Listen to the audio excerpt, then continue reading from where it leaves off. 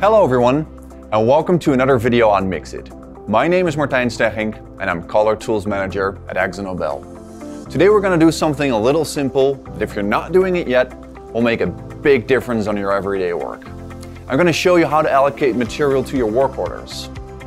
And I will tell you exactly how it will give you more insight on your shop's performance. Let's get to it. Before you can start creating work orders, you need to have a Mixit license. So if you don't have a license yet, please get in touch with your local rep or navigate to www.mixitcloud.com forward slash about and request one today. All right, now let's create one together to understand what a work order is and how it's used. So go to work orders and press create a new work order.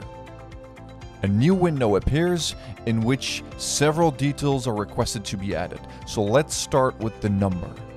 Note that this is a mandatory field to fill in.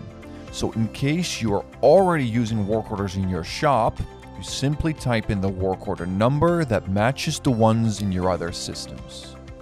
And in case you're just starting out, it's advised to start with the sequential numbering method.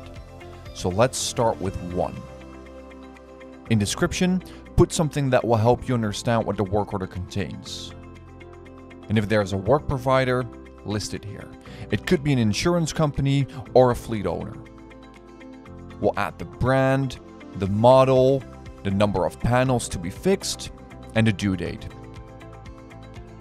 In the overview, a new work order is created, so let's open it. In the overview, you see all of the details that we just added. It serves as a placeholder for the paint that we're going to mix. So let's start mixing some paint and we'll assign it to the work order. We'll start with a primer. The application will prompt which work order you would like to allocate the mix to. Alright, now let's mix the base.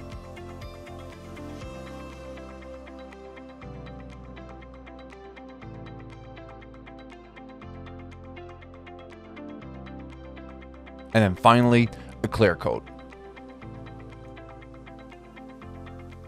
We mixed a primer, a base, and a clear, which we assign to the work order. Which means that all material and all its associated costs are now visible in the work order. Hopefully now you understand how to allocate material to work orders and how it helps you to properly measure consumption. So if you aren't using Mixit yet, get in touch with us now and get your license.